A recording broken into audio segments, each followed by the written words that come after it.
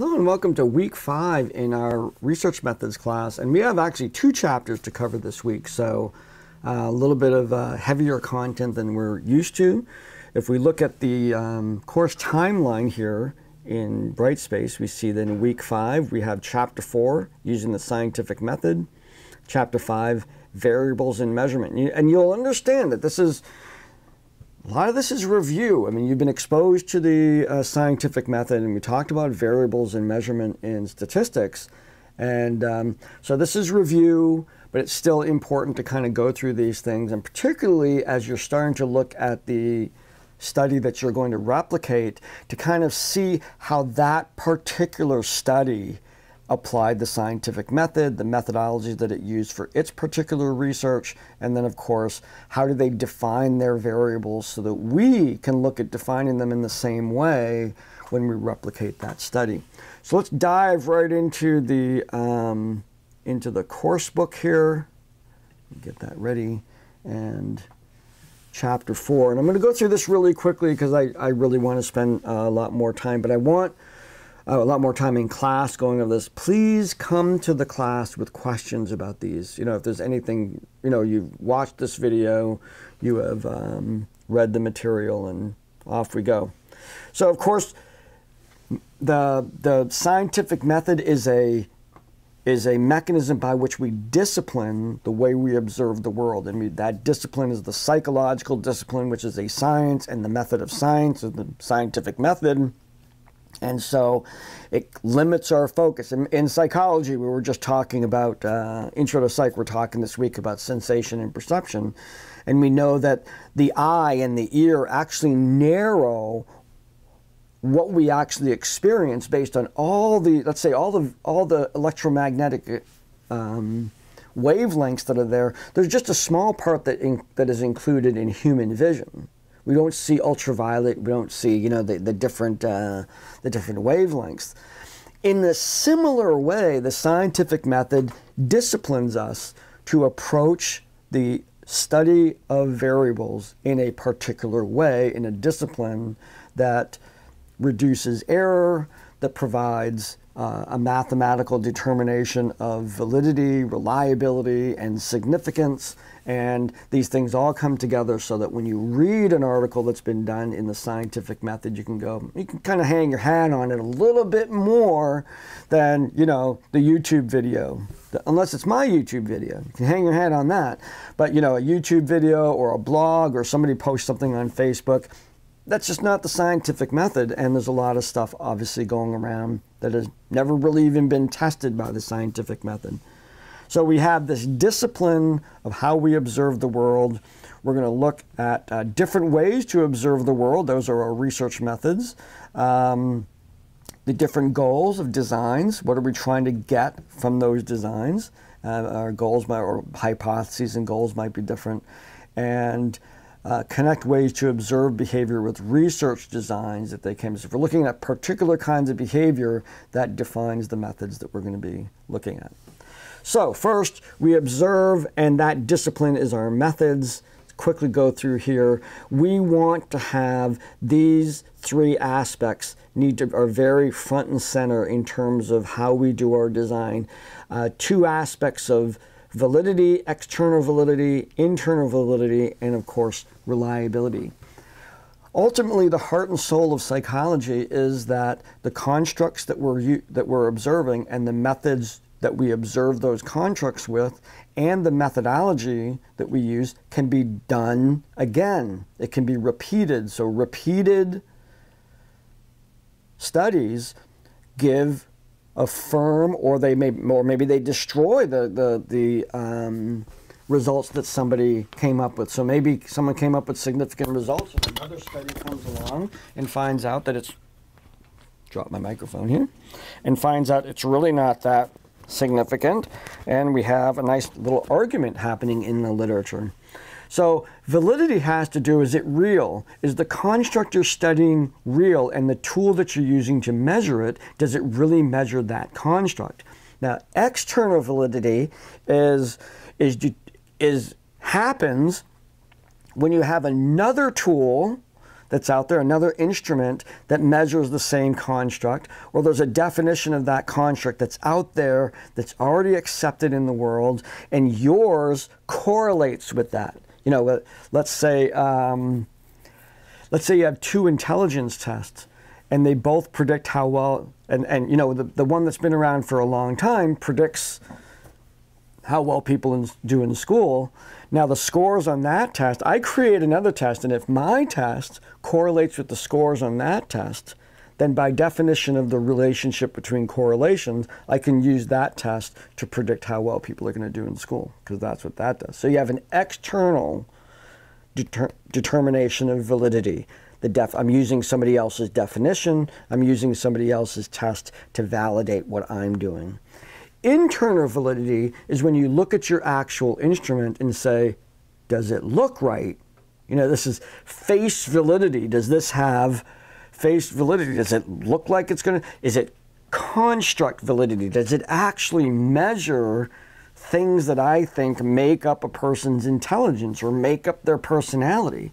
Now, in the world, in the history of psychology, People, of course, have created instruments without any sort of external validity to them because they weren't around as we discover new aspects of the human condition. So here we are with a uh, an instrument that we're creating, and we don't know yet as to whether it has any external validity or not because it's too early in the field.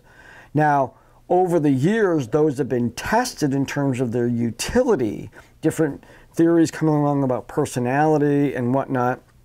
And you probably recognize um, an aspect of, let's say, personality testing that has resulted from all kinds of tests sort of watering down to what we call the big five. So in trait personality theories, there are literally hundreds of traits and hundreds of personality tests that measure traits.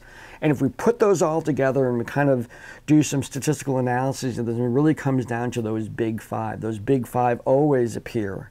So you see this kind of process of, of validation of what makes up personality. In the big five, what they're looking at are what are the five characteristics that show up, no matter how many characteristics they're measuring, those five are in there. So they say, oh, the big five are really core aspects of the personality that we no, and it's useful information because it has external and internal validity. Now, the reliability part is that your methods can be repeated. It's not a one off, it's not a unique situation. Those happen, you know. How many astronauts can we actually study? You know, how many, so these those are called case studies. Case study as a methodology is often very non-repeatable. You can't replicate a case study because the individual might no, might no longer be there. The individual's older was a snapshot. So that's not a method that lends itself to reliability, although the questionnaire that you use, you could maybe use with somebody else. The instrument itself might be able to be replicated, but the methodology of actually interviewing that case study is not. So Reliability looks at replication. Can I exactly replicate the way the individuals did this study? So you're going to be looking at some studies that were done, and you're going to be looking at that methods section and how they actually went through the steps of collecting their data and determining the degree to which you can do that just like they did. And already we know we're going to diverge from that because of some of the sample sizes you experienced in these articles. But that doesn't say that you can't replicate the study and make some changes, but you're going to note those. You're going to say, yes, I'm replicating this study, but this group, that you know, the original study did this on a paper and pencil test, inviting people into the lab. I'm going to be doing it through a digital test, inviting people from the internet. That's a methodological change that reduces the reliability of the instrument, but it's still okay to do. You just have to you just have to recognize it and validate it. Okay, I'm going way too slow here. So let's let's go into we have operational definitions. This is uh, looking at our variables and determining how are we going to measure them.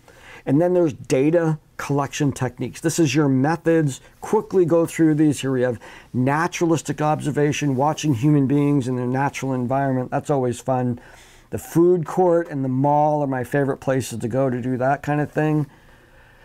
Surveys and questionnaires, we're going to be examining that. Systematic observations, this is not just casual naturalistic observation. You're actually check sheets, you're looking for certain kinds of behavior, a little bit more concrete on there. There's a little movie here about a, uh, a researcher uh, demonstrating um, cognitive development. This is, uh, it's sort of a false natural environment that this little child is, is acting in, and she's actually systemically, well, in the bigger study that supports this video, she systematically exposes the same kids to the same experiment and observes their natural behavior in that environment. So, cool, cool study too on, on Piaget's uh, symbolic reasoning and development. Then we use archival data. You're looking at existing data that's already out there, case studies, again, you know, with an example of uh, Anna O, who was uh, name was actually Bertha, and one of Freud's first case studies. And then we look at correlation studies. We're, we're, so here's these methodologies, and then this is sort of like, well, what do we do with these numbers? Do we, the first off, of course, recognizing you already know that correlations look for a relationship, but that relationship is not necessarily cause effect. That's what we need experiments for. But if there's no correlation between something, there's no cause effect. So you have to determine the correlation first. So if you're trying to see, um, you know, you have an intervention in your classroom, let's say, that that raises test scores. So you do that and the scores go up. Okay, the scores could have gone up for a lot of reasons. But the first we have to determine when I did those methods, did that happen at the same time as the scores going up? And if in, if in fact your correlation determines that yes, they did happen at the same time, you can then move to the next aspect of the study, which is to determine cause and effect. And we start looking at different methodologies at that point in terms of splitting up groups and making sure the samples are equitable and then comparing group that got it, group that didn't, you know, those kinds of experiments that are looking beyond correlation and actually looking for cause and effect. So correlations first, we look at those, we determine yay or nay on that. We use studies simply for correlation, sometimes in combination with um, our actual experiments. Then we get introduced to this idea of quasi-experiments. Now, quasi-experiments, well, experiments have validity in methods when we randomly assign people to the experimental group. So if I'm going to compare students in, uh, you know, some who get a PowerPoint, some who don't, I want to see the effectiveness of PowerPoint on teaching and learning. Ideally, in an experiment, I would take 50 people and I would randomly assign 25 to this group and 25 to this group. However, we're not always able to do that. In a school environment, for example, I can't switch people around. They're in Mrs. Smith's class, and one of them is Mr. Hart's class. So you have Mrs. Smith and Mr. Hart's class of 25 students, and I'm going to do the study anyway, recognizing this it's experimental, but it didn't involve any random sampling. So therefore, it's quasi-experimental. There may be vast differences between the teachers. There may be vast difference between the classrooms, and I try to recognize those, but I can still do the, do the study as long as I recognize that it's quasi-experimental. Okay? Now the next one we get into uh, different kinds of experiments. Here's the um, there's an ex post facto design that studies based on grouping. That's kind of what we're just talking about here. Um, groupings of subjects that already exist.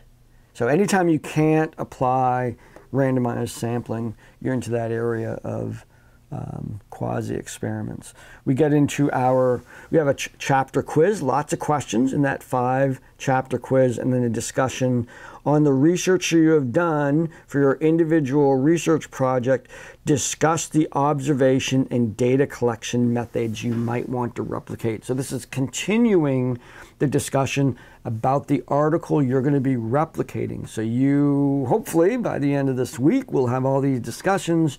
You can get the actual article and look at its methods and post that in here and get right into the article. How did they actually pull this off? Was it quasi experimental? Did they actually have random? Did, was it convenient sampling?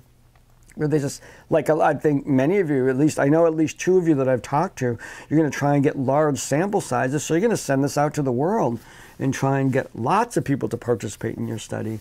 But that's convenient sampling. It's everybody who volunteers who comes in. And people who volunteer may be statistically different than people who don't volunteer. So how do you get to study people who don't volunteer? You know, that's a whole interesting question in the world of science.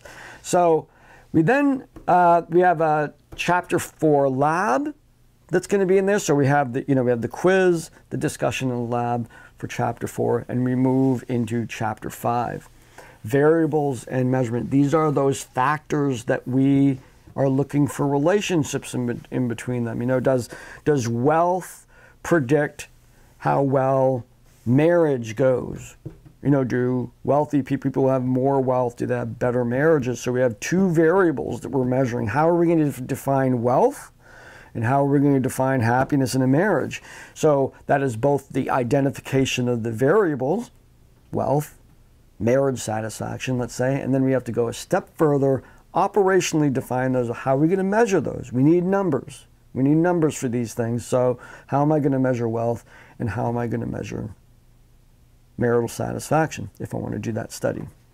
So, this chapter starts off, you know, a little tape measure. We always, how do we measure things? And then uh, for learning outcomes, we're going to be getting to get right into it, defining those variables. Now, think of the word variable as the thing that changes, it varies. Okay, and then we look at two kinds. There's the independent variable, and then there's the dependent variable. And the independent variable in a classic experiment is the thing we change. It's the things that we move around. So if we're going to have two groups, we're going to look at, you know, uh, the effectiveness of PowerPoint on learning, we're going to manipulate the independent variable of the presentation, the actual presence of the presentation. One group gets it, one group doesn't. And we're going to measure the dependent variable, which is the grades they got on the test. That will be the same at the end. If I went back to my example of marriage and happiness, I mean, wealth and happiness, wealth is we would have wealth as a measure, and we're looking to see if that causes happiness or not. Now, of course, that would be a correlation assignment to begin with. You know, we would look at we would look at the variables and say, okay, I'm interested in wealth, and then does it relate to uh, marriage satisfaction? Do they go up and down together? So more wealth, more happiness, as a positive correlation, or do they have a negative correlation, which means as wealth goes up, marriage happiness goes down, as wealth goes down, marriage happiness goes up? It has an opposite relationship. We can still be looking at the correlation, we're just looking at the relationship. We can then still take it to that next level and design an experiment about that to see if there really is a causal relationship between wealth and marital happiness. So that's a little bit about variables, a little bit about um, you know dependent and independent variables. I'll go over this example right here, the theory of planned behavior. We'll use that as an example to look at the independent variables and dependent variables because in a model like this, there are like attitude because there's a because there's two arrows, attitude and subjective norms. They depending on which direction you want to go, Okay, say you want to go to, uh, you can study the effect of attitude on norms, or you can uh, study the effect of norms on attitudes to see how it can go both ways. So that can be an independent variable or a dependent variable. This, the one-way arrow in this model determines that this is a independent variable and it determines intention. Now, this is a multi factor variable. Intention is influenced by all three of these. You can see the way the arrows go. Okay, so attitude, subjective norm, and behavioral control all contribute. So these are all independent variables, how they relate to intention and ultimately to behavior. So I'll be using that as an example when we meet to talk about the different um, ways in which we define variables. Then we go into scales of measurement. We just discussed this in statistics last week, looking at nominal, ordinal, interval, and ratio data and how that determines the way we actually measure things and the kind of statistics that we're going to use. We get into some methodological ways of dealing with reliability.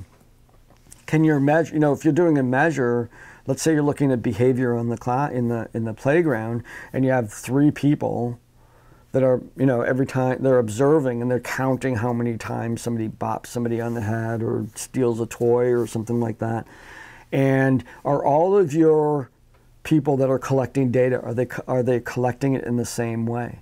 If you ever take the behavior management class, one of the things that we focus on in the behavior management class is a rule by which we define the behaviors that we're looking at. Now, the behaviors themselves are variables. And in behavior management, we're looking at what, vari- what, what factors influence a person's behavior. It's classic experimental design. So, is little Billy acting out because he doesn't understand what's going on? Or is little Billy acting out because he's trying to impress his friends? And we may, depending on how we want to intervene in that particular situation, we have to determine which one is it. Now, to do that, however, we have to determine what does acting out mean so we can make sure we measure it every time. And in behavior management, we define those very, very clearly. And one of the criteria, there's two criteria, two models that we use. One is called the um, stranger test. Now, the stranger test that we use when we're analyzing our description of the behavior says anybody can walk, the way we have it described, anybody can walk off the street and they can, they can determine very accurately that Bill, when Billy's engaged in that behavior. So it's not throwing a fit, which can mean different things to different people. It's precisely defined scientifically so anybody could do it.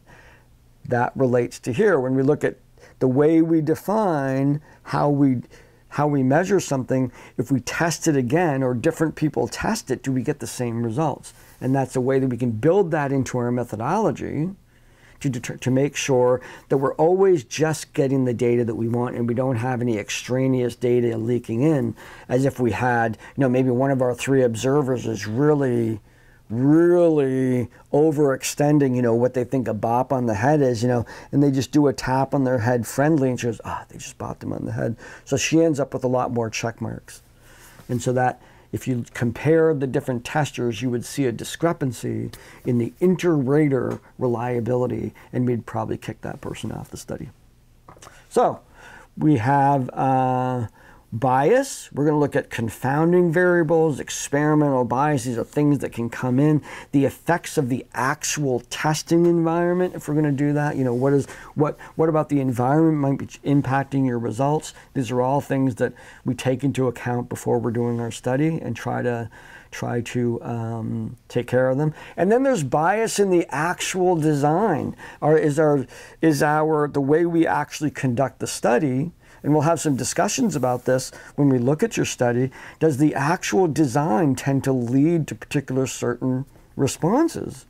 And I'm going to be showing you some, I'll be showing some examples of that when we meet, or talking about some examples of that when we do meet. That brings us to a quiz and a lab.